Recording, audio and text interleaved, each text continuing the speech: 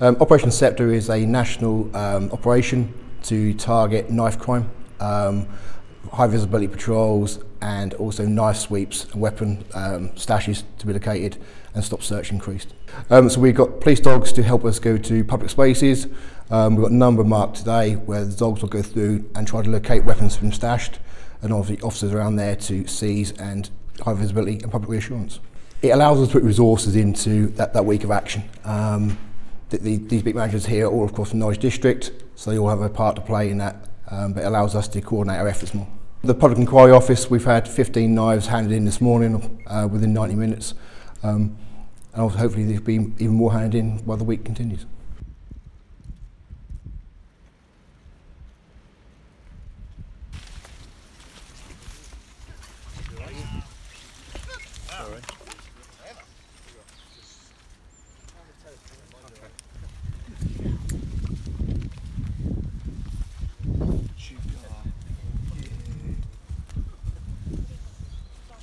Ah, there we go. It's a fine. Class A dog. There you go. Class A dog found. Yeah, Yeah, definitely. Oh, Class A. there we go.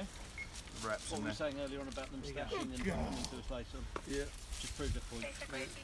Today we've got um, PC John Harwood out with his dog. Um, we've just been having a look around and it's come across a, uh, a little container which is um, what we believe filled with Class A uh, drugs, potentially crack cocaine and heroin. Um, obviously they will be taken off the streets and could be potentially further analysed by us to see if we can provide any link to who might be responsible for that. So um, it's taken some drugs off the street. I would say it's approximately around 150 to 200 pounds worth. Dog um, is trained to smell drugs, uh, many other things. Um, we're out here today without the dog, we probably wouldn't have come across it. So it's a great tool that the, the force has to use. And as you can see, we've been here around 10 minutes and we've found potentially 200 pounds worth of Class A drugs.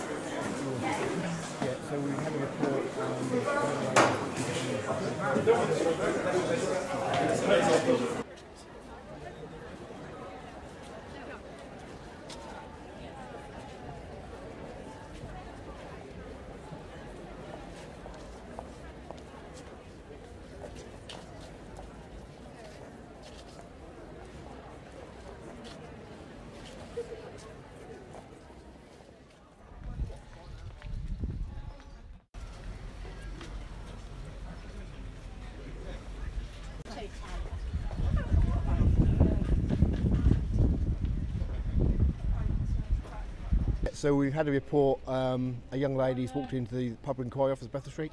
Um, she's reported here that she was here having her food, which point she was approached by a male who said that he's going to stab her. Um, bear in mind, OPSEC is about knife crimes. We've now responded, uh, located a male upstairs, matching the description. So we're now going to use our powers on the stop search to, uh, to search him and see if we can locate a weapon.